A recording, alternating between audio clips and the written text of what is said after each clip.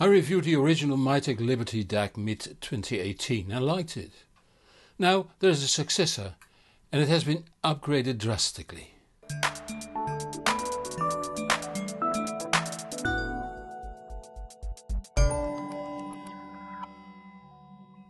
The original Liberty DAC was essentially a Brooklyn on budget.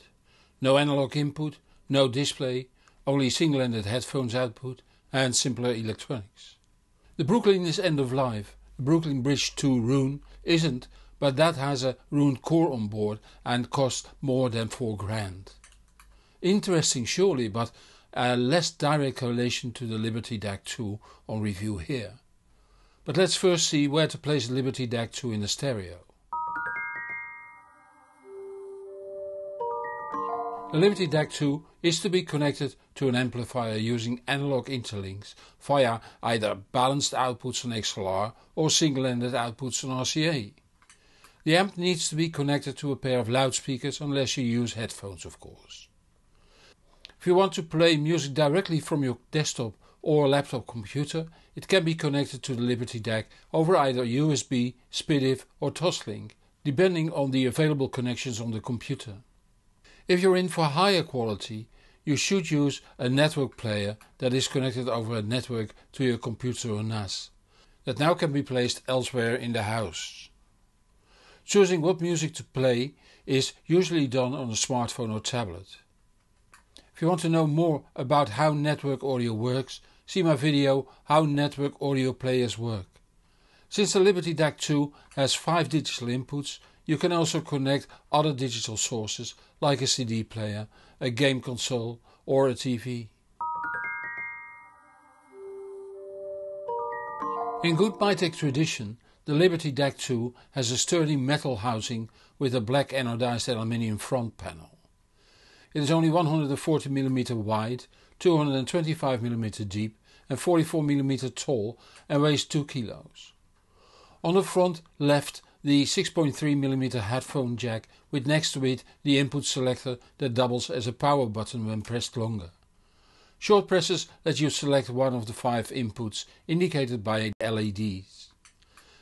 The bit depth, MQA and sampling rate are also indicated by LEDs.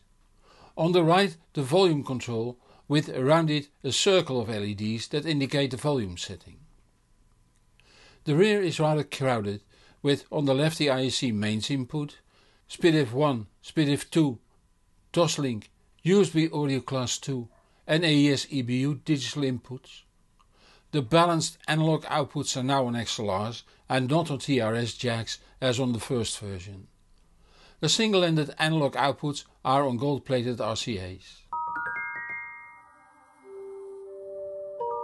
Here we find the clearest differences with the first incarnation of the Liberty DAC.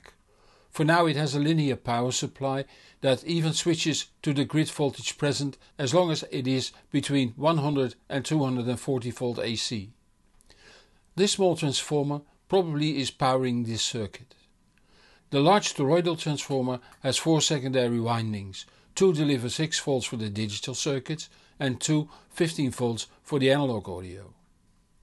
The AC low voltages from the transformer are converted here to DC and buffered by a total of 48,000 microfarad capacitance.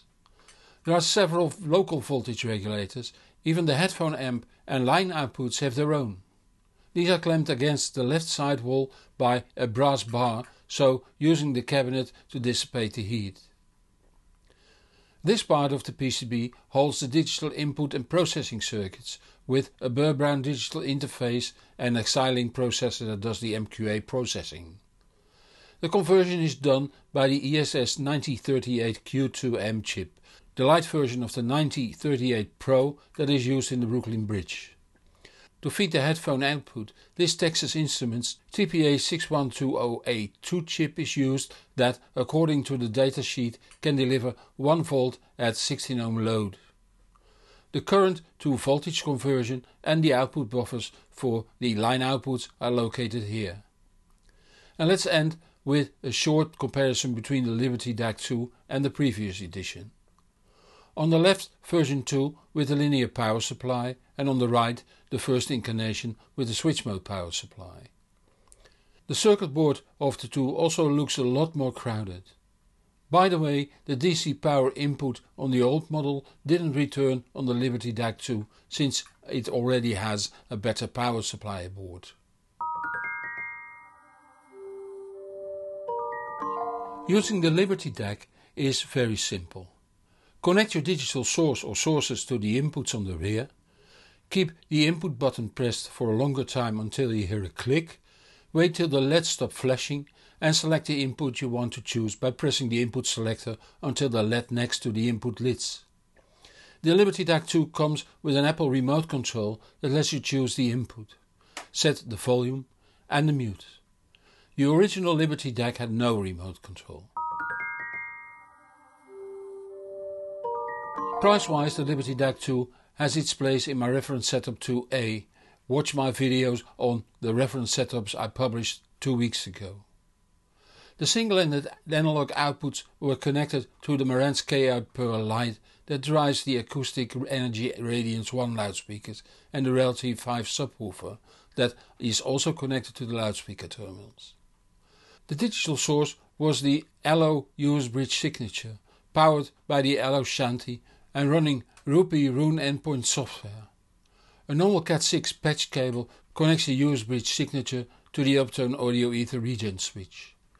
The Roon core runs on the Grimm Audio Mu1 in my setup 1 downstairs. The Liberty DAC 2 is a clear upgrade from the original Liberty DAC. As where the original Liberty DAC was already a good sounding product, the sound of the Liberty DAC 2 is more relaxed, has a cleaner mids and highs, has a better sibilance control. The spatial information remains better intact and there is more focus. It is closer to the original Brooklyn and therefore I scale it in the lower part of my setup 1B. Make sure you use a proper digital source. There is much to gain from a good streamer or network bridge instead of a computer. Or worse, a laptop. The Mytek Liberty DAC 2 retails for 1500 euros including 21% VAT in Europe or $1500 excluding sales tax in the US. That's 50% more than the original Liberty, but as I have shown you, it is a largely different beast and many first gen Liberty owners spent 350 to 500 euros on a linear power supply at purchase or added it later on. In that light there isn't a great difference in price with the new one. It has every popular interface for input save I2S and does PCM to 384 kHz, DSD 256 and is MQA certified. The higher sampling rates need the USB input by the way. In short, the Mytek Liberty DAC 2 offers a lot for the money. And that brings us to the end of this video.